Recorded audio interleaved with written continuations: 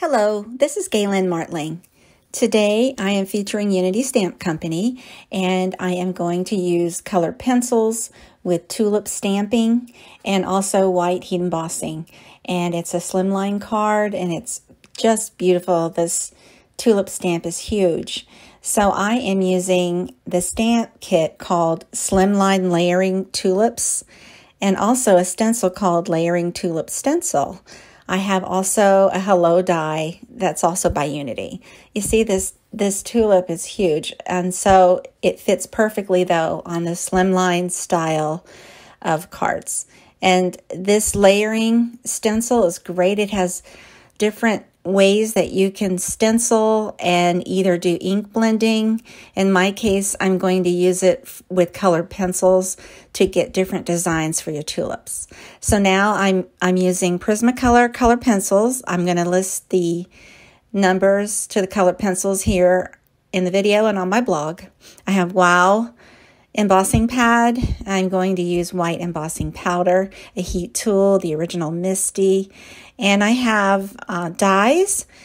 The the base, the black uh, cardstock, was die cut using Pinkfresh Studio Slim Ornate banner dies, and so there um, it is stamped with watermark ink.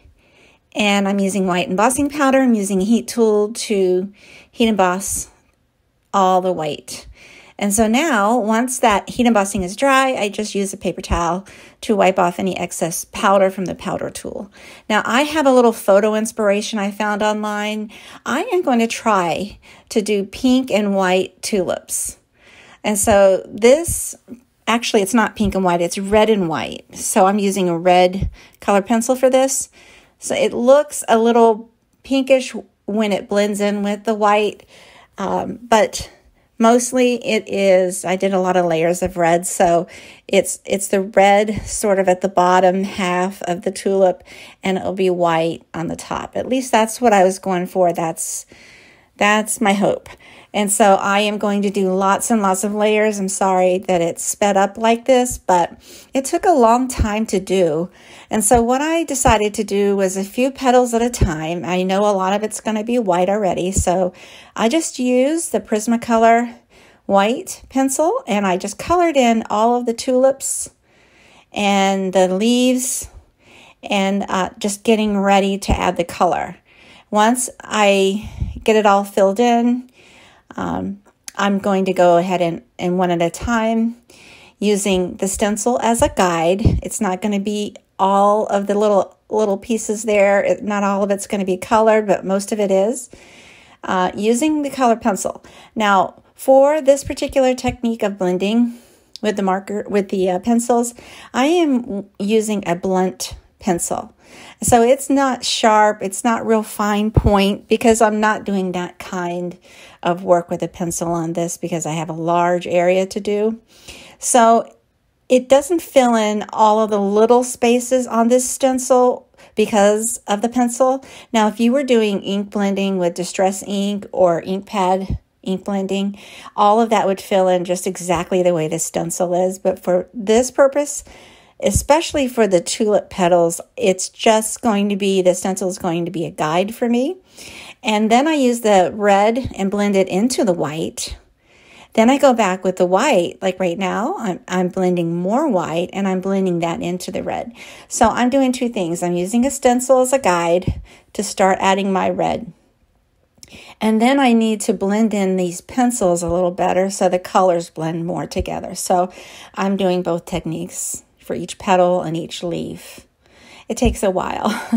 so it was really relaxing to do. It just took a while. So I have to speed it up for video sake. But um, it looks really nice. You can do ink blending without doing any stamping using just the stencil and you get a beautiful look, a different look, but just as pretty. And so for now, I'm using both. I stamped first colored that in with white, stenciled in with a little bit of red as a guide, and blended it with the red and the white. And I do this over and over to finish all the petals. There's my photo inspiration. A little bit of red and white on each of those tulips.